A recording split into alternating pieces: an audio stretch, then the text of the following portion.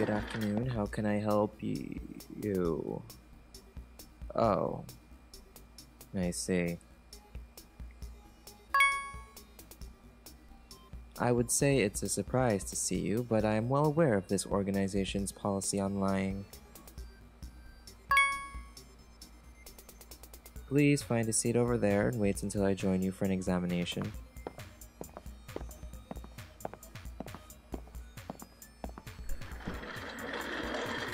Dare to explain how this one happened? I remind you that lying is heavily discouraged in this organization, and if you fail to communicate exactly how you were injured, then the possibility of myself mistreating you and causing further ailment or injury is highly likely. I think you misheard me in my warning about lying. How did a chair get smashed against your ribs? And why are you so calm about it? That is a fair statement. I truly shouldn't be surprised by how frequently I find myself in your company.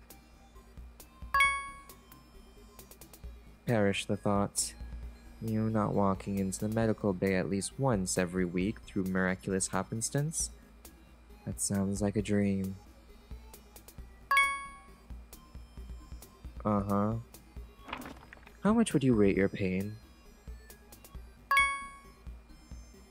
Your pain tolerance is not of my concern. I am already well acquainted with it. I asked for a rating of your pain. If that's the case, take off that shirt and we can get started with determining treatment. You're not a child nor a stranger to this space. I don't need to assist you based on the rating of your pain, and I've seen you topless many times. Now take off the shirt.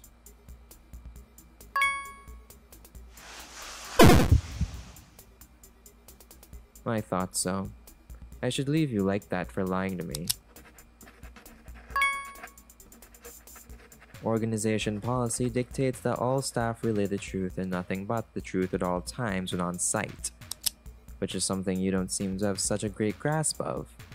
But aside from that, lying to a medical professional is dangerous because you run the chance of a misdiagnosis and mistreatment, which could, say it with me, cause further ailment or injury.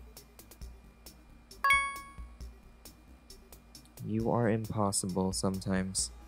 Lean back and raise your shirt above the area you're currently feeling pain in. No, your ego does not count. Otherwise, you'd have to throw your shirt outside of this room. And I'd rather not inconvenience the cleaning staff. My oath says I can't try to hurt you physically. It never said I couldn't knock you down five pegs for being a smartass. My bedside manner is typically impeccable. Your frequent visits, however, do not necessitate niceties. It's also company policy that repeated visitors to the medical bay of a certain frequency are to be treated as staff see fit. You'd know that if you read the policy, so you could avoid my attitude. Now, hold still. We've gone through this many times already. I don't need to explain what I'm doing to you right now. If you like hearing me talk, then you're already in luck, because you'll be hearing me berate you once this examination is over. Innuendos and suggestive comments towards medical staff is disallowed, Agent. You know that. I suggest you help it before you say something in front of a superior and get yourself in trouble. Yes, I am medical staff. You know this? Yes, I am your superior. Whatever line of suggestion it is that you're concocting, stop it now. I know you, and by proxy, I know how you think when you step into this office. So it's not hard to tell when you're attempting to flirt with me. Yes, I can tell that you're flirting because you are horrendous at making it anything less than obvious. Agent, if I need to remind you about our policy on lying one more time, then I will contact my supervisor and have you put through a week's worth of rigorous training exercises designed to make you sweat and bleed till you drop. Am I understood? Good. Now are you going to continue your farce or are you actually going to ask me out? I am aware of what the policy on flirting with medical staff is. I am also aware that you don't care about policy and will do it anyways. Now, answer my question. Good. Do it. Ask me out. Your ribs are fractured, but luckily not broken. However, your ears are in good shape, and you do not appear to have suffered any concussions. So I believe you heard what I said and are of sound mind to know what I'm asking you to do. Yes, I understand you're excited, but if you don't ask me out in the next 10 seconds, I will swiftly change my mind and... Good. Where are we going and what time? Come now, agents. You have to be much quicker to think than spouting ha for a response for someone of your standing. Tell me where you want to take me and when. I don't like fancy restaurants. Try again. You will not be taking me to a fast food joint to dine. Try again and put some thought into it this time. That sounds agreeable. I could use a walk around after the day I've had. Now with that settled, dress nice. I won't be seen in public with you looking like a parrot who fucked a clown and recently gave birth. Got that? Good. Bring your wallet as well. I usually pay 50-50 on first dates with others. And no, there will not be any arguments against what I said. Make sure your breath smells nice and your hair is well done. I'm amused by you, and that amusement has turned into fondness. I think. So I'm doing this to see how I actually feel about you. In essence, I don't know if I like you yet, so we will just have to see. What? Your expression changed. No, there is no anima in the room right now. And furthermore, there is no need to worry about this conversation being recorded by any security devices in this room. Because it isn't actually against company policy. I made that up. Please keep your voice down. It may not be illegal, but I certainly would like to keep my private affairs private.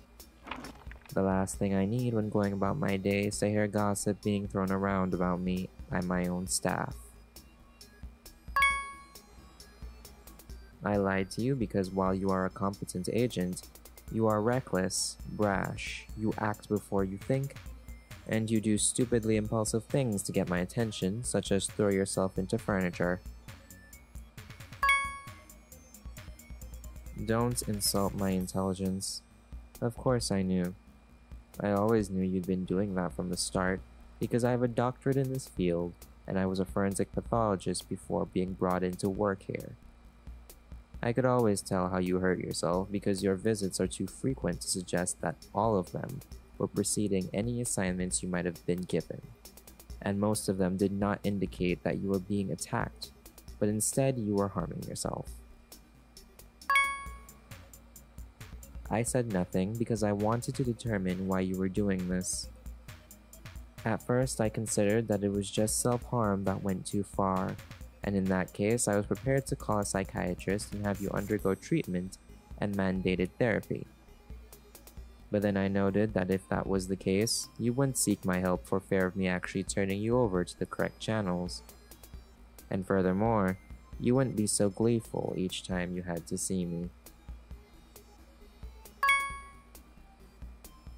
Oh no, I thought it was incredibly stupid of you to do. I also did tell you several times to stop getting yourself into these situations, hoping that you would understand that I knew. But you did not get the hint, and so I let you hurt yourself, hoping you'd stop and be normal about simply asking me out. Yes, I'm quite aware that you are not very subtle, but it's slightly endearing in some way. Yes, I did say that. Now, I'm going to warn you. Should you injure yourself again to come and see me, then I will have you admitted into a psych ward under the pretense of insanity, and have you stripped of your position here. Our organization does not need agents who act foolishly for the sake of an objective. And you are far above that if your performance reports are anything to go by. I am the head of this branch's medical department. Of course I see your performance reports. I need to see them in order to compare them to your physicals and determine that you are of sound mind and body, which you have somewhat been, excluding this stunt of yours. Well, should I determine that I want to pursue whatever this is, I will be overseeing the appropriate methods to have your physicals checkups, and examinations done by someone else to prevent any conflicts of interest. I will also be reporting this to HR.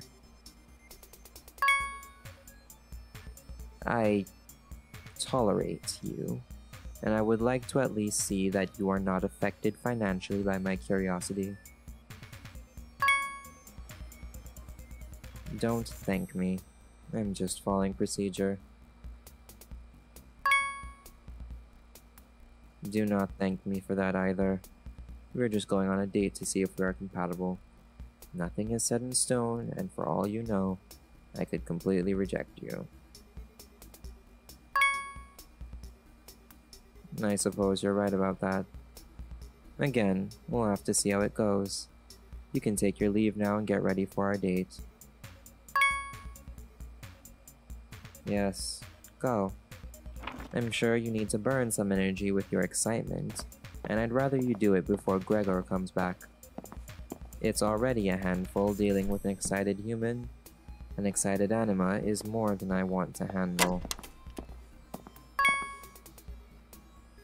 Goodbye, agent. Take care of yourself.